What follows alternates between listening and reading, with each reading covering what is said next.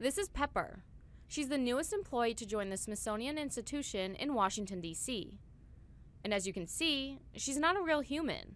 The Smithsonian's always looking to use the latest pieces of technology as a way to educate and engage with our visitors, and Pepper is a total extension of that mission.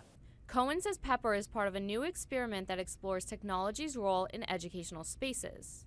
And so far, he says the four foot robot has been successful for the Smithsonian because she attracts attention wherever she goes.